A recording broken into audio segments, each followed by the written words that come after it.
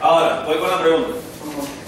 Este, tú me dijiste que qué pasaba si a esta que está aquí estaba elevada al cuadrado, ¿cierto? O sea, quedaría igual así, pero en vez de poner el x al cuadrado más 2 al final sería x al cuadrado más 2 solo. Eso, en tal caso, tú puedes tratar a esto, si quieres, como una función externa y 3 y el 2 se puede ver lo que sí. Exacto, queda x, x cuadrado más 2 Puedes ver por ahí. a la cuarta. No, es una opción, no es que es la única. Observa que x al cuadrado más 2 puede ser esta x que está aquí y este cuadrado que está es este. Y al derivar esto va a cambiar, ya no es esto. Ah, Porque claro, es- obvio. Lo vas a ver como x a la 2 tercios, deriva y sacas la cuenta. Y al resultado le pum, donde está la x al final le metes x al cuadrado más 2. Eso es una manera. Otra forma, nada, tú tratas el raíz cúbica de x al cuadrado más 2 elevado al cuadrado. Si a ti te da la gana, si a ustedes les da la gana, pueden agarrar este pana y hacer el primero al cuadrado más dos veces el primero por el segundo más el segundo al cuadrado. Y eso es la raíz cúbica. Y aplicas esto mismo, solo que en vez de escribir aquí x al cuadrado más 2 es x a la 4 más 4 x al cuadrado más 4 aquí. Y después al derivar aquí arriba afuera te queda 4x a la 3, eh, 8x y ya. Eh, que sería la derivada. Esa es otra forma. La otra manera que tú me estás Yo diciendo. lo digo como sustituir en la, en la, en la, exacto, en la, ¿cómo que se dice? En la forma que tú nos diste de 1 sobre n de raíz de n de x menos 1, ¿sabes? De n menos 1. Yo digo sustituir en esa, Sí. o sea, me- Sí, porque ahora x es todo esto. exacto. Sí, sí, ya lo vi, ese es otro mecanismo. Sí, eso, o sea, yo digo como sustituyendo simplemente los puntos, pues. Sí, sí, aquí colocas el 2, aquí colocas el 3, aquí colocarías raíz cúbica y aquí colocas el x al cuadrado más 2, que es lo que está dentro de la raíz, y aquí n menos m, que es elevado a la 1. Que sé que, exacto, esa era mi pregunta. Sí, sí, pues, y ya tienes la derivada de una vez. Ahora, esto, porque como estás tomándolo como el 2 y el 3, que es parte de la función de afuera, tienes que multiplicarlo por la derivada interna, que es x al cuadrado más 2, que sería 2x. Y te queda un 4x aquí afuera y bla, bla. Entonces, más directo. No, bueno, es que ey, ey, Por eso- hay múltiples por formas. La forma de de la No, no, pero como, como lo viste muy, muy generalizado, quería, que, Sí. quería ver si entraba la. Pero faltaba, falta esto. Exacto, claro, faltaría la derivada interna, pero ya con ese 2 ahí, simplemente la derivada interna simplemente sería un 2x, que sería un 4x. Sí, porque él lo que él lo está viendo es así. Que es como si tuvieses la raíz cúbica de x al cuadrado. Entonces, la raíz cúbica de algo al cuadrado, si lo aplicas con la propiedad del principio que les comenté, que se las escribí de hecho por ahí. Eso M también es sería 2, regla de la cadena. N es 3. Eso también sería regla de la cadena. Sí, de bola, porque la función interna es x al cuadrado más en ese caso. Entonces está diciendo, no, bueno, m es 2, n es 3, por eso colocas m arriba, este aquí, te queda raíz cúbica de lo que está en la raíz de este menos este, y por eso sería 3 menos 2, 1. Ahora, si aquí está x al cuadrado más 2, aquí va x al cuadrado más 2. Aquí a la vez. Y todavía, como esto funciona ahora, regla de la cadena de eso, que es lo que está aquí. La regla de la cadena esa es el 2 baja, me quedaría 2 por x al cuadrado más 2 y después la derivada interna que sería 2x, ¿verdad? No, no, la regla de la cadena es para este pedazo nada más. ¿No? No, pero yo te digo, si, te estoy quitando, te estoy extrayendo esa expresión nada más. Eh. Esa, esa te la estoy extrayendo Sí, con el este cuadrado. dos. No, con el cuadrado. Ah, no, si es con el cuadrado ya no es esto. Aquí no te doy. Si te Pero es que es lo mismo, pero es que es lo mismo. No, te va. Mira, deriva, deriva con la regla de la cadena eso. Ah, no, pero con el 2 afuera. Sería 2 que multiplica x al cuadrado No, más ¿qué 2. pasa? Ah, no, claro. No, porque cambiando- ahora estás tomando que esto es parte de la función y es 3 y m sería 1. Si estás tomándome esto como la función interna. ¿Me explico? Si lo hace así como sería. Como está diciendo él. Es tomarlo de esta forma. Voy a borrar esto aquí para no. Ahora lo escribí un momentico. Era raíz cúbica de x al cuadrado más 2 elevado al cuadrado. Allí él está tomando como que. Voy a poner esto en verde, madre mía. X al cuadrado más 2 elevado al cuadrado. Si lo haces así, fíjate que el exponente de la función es 1.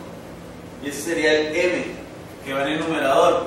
Y aquí tendrías 3 raíz No, sería cúbica. dos, Sería 2. ¿Dónde? En No, ese uno. Para el caso que estoy haciéndolo ahorita sería 1, Pero ¿por qué sería lo.? ¿Por qué estás tomando la. la porque estoy tomándolo todo esto como una función interna. Ah, estás tomando todo eso como extra. Claro, Ya. si yo te pongo este 2 ahora en negro,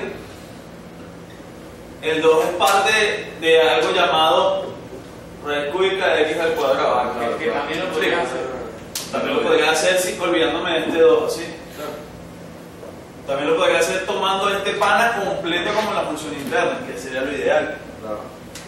Entonces, haciéndolo de ese mecanismo, tú dices, bueno, la derivada de la raíz cúbica es esto. ¿Qué es lo que está dentro de la raíz? Esto. Ah, bueno, te explicas aquí. Eh, x al cuadrado más 2 elevado al cuadrado y te queda 2 por 2 aquí 4. Y después a eso lo tienes que multiplicar por la derivada de la función interna y la derivada Ah, de la entonces función interna es todo esto. Y tienes otra regla de la cadena que es al cuadrado y después la interna. Que es irse por el camino más largo, pero es una forma. Esas son formas de resolverlo. Exacto. Ojo, Pero no es el mismo resultado o. No, después le queda el mismo. Bien, Da el mismo. pero lo exacto. Hacerlo bien sin, sin equivocarse con la derivada interna que se les pone si esto y si aquello. Y sería ideal que lo practiquen por, por varios mecanismos. Vean que el, bueno, el logra, el que hicimos hace rato, que era raíz cuarta de x a la 3, lo trabajamos como x a la 3 cuartos. O lo puedes trabajar como una función raíz cuarta donde lo que está dentro es otra función. Es como, es 3. como si la m lo usaras una sola vez. Si lo vas a poner en el numerador o si lo vas a agarrar como regla de la cadena. No lo puedes usar dos veces. O sea, usándolo de la, de la fórmula que tú nos diste. Eh. Claro, yo agarro el 2, lo pongo ahí y cuando derivo simplemente. Esa de la fórmula, esa fórmula que yo coloqué allí. Que es para, esa fórmula que yo les coloqué allí, que es para este caso, yo voy a hablar claro. Yo esto, cuando ustedes quieran derivar, lo que les dije que era m entre n raíz enésima de x a la m menos n. No, n expresión, n, menos n. n menos m, gracias por la corrección. n menos m. Esta fórmula yo se la recomiendo para este tipo de casos. Para esos. Para este tipo de casos, mi recomendación es que lo hagan por regla de la. A menos que estén claros en qué diablos están haciendo para escribirlo así. Porque al final esto va a estar multiplicado por una derivada interna. Claro, pero ahí por derivada de la. por regla de la cadena. Quedaría. quedaría dentro de x al cuadrado más 2. Al cuadrado. Al cuadrado. No, no, pero ya da el resultado. Ah, ok. Ah, no, el es, resultado como si, completo. es como si restara, eh, estás restando el n está dando en verdad lo mismo. ¿Sí me entiendes? Y después haces la- Sí, no, marico, porque fíjate que aquí te va a quedar, este 2 y 2 me queda esto elevado a la 4, y este Ah. 4 con este 3 va a salir uno fuera, Exacto. que me va a anular a, a la- cuando yo derive arriba. O sea, por los dos mecanismos da igual. Estoy- eh, se los aseguro que por los dos Pero mecanismos lo igual. hagamos por la regla de la cadena, ¿de qué manera? ¿Cómo sería? ¿El de arriba? Ajá.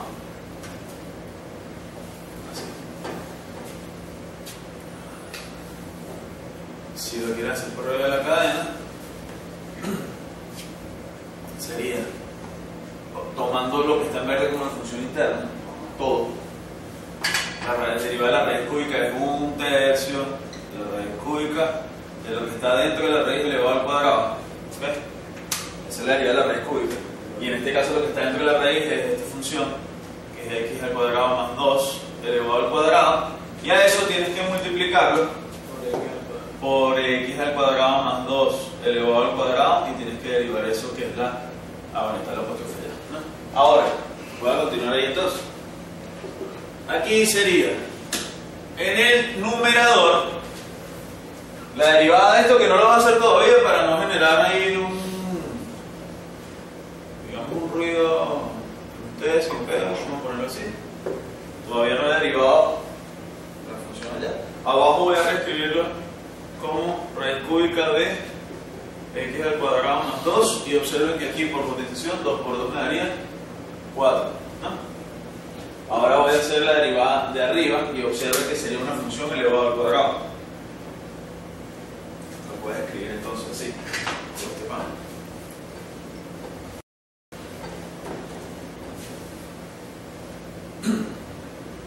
Si tienes x al cuadrado más 2 y eso está elevado al cuadrado. ¿qué pasaba cuando teníamos algo elevado al cuadrado? Para el caso de x, bajábamos el 2 y al exponente le restábamos 1, ¿se acuerdan? Era algo así. Si es x, aquí va la x.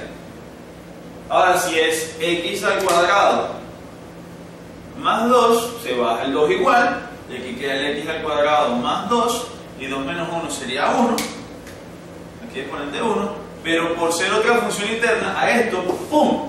Hay que multiplicar por la derivada de x al cuadrado más 2 que la función interna. El 1 ya lo puedo quitar de.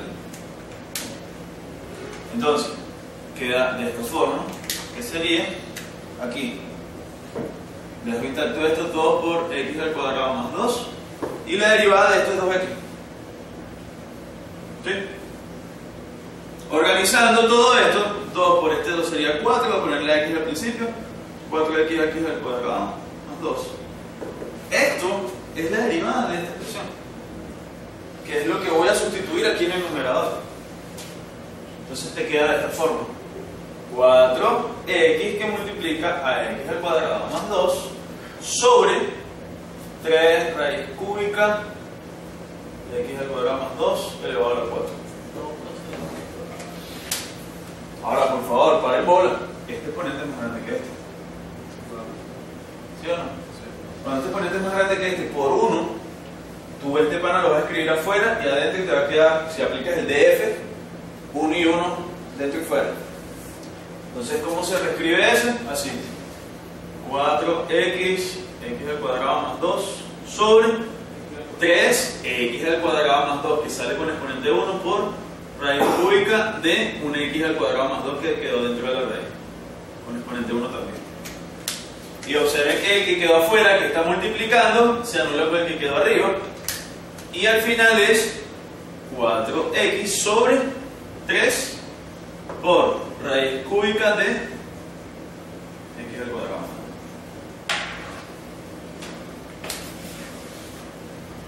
Si lo ves, sería el 2 al principio, que sería el m, si lo pones arriba y después haces la derivada interna, el 2 Exacto. te da el 4 Exactamente.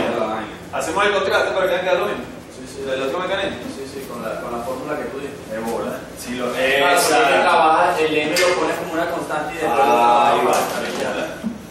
Ahí, ahí engranamos ya completo. Si lo ves del otro mecanismo, y esto va a quedar montado en, en la página sin problema en el canal, son los errores para, para para lo puedes ver así: que el 2, en vez de pertenecer a esta función, el 2 lo puedes trabajar de esta manera: x al cuadrado más 2. ¿Sí? Entonces, si el 2, en vez de tomarlo en vez de aquí como parte de la función interna, y lo tomas como que este 2 es parte de la función externa, para el caso hipotético, cuando teníamos raíz cúbica de x al cuadrado, ahora es algo elevado al cuadrado, y ese algo es esto.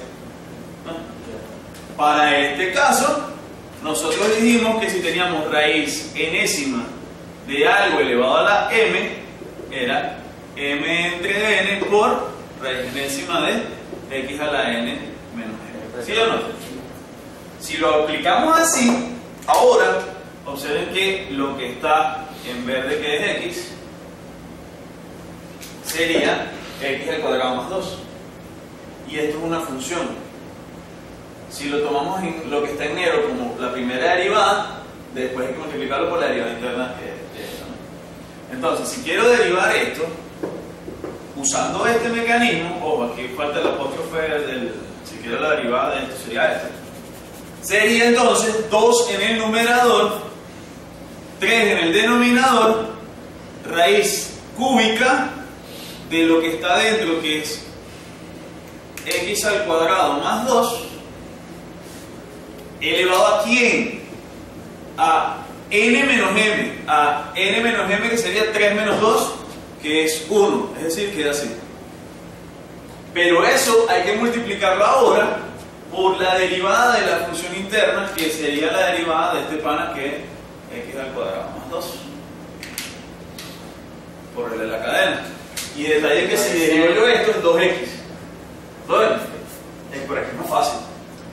Si derivo esto como 2x, por este 2 me queda aquí arriba 4x.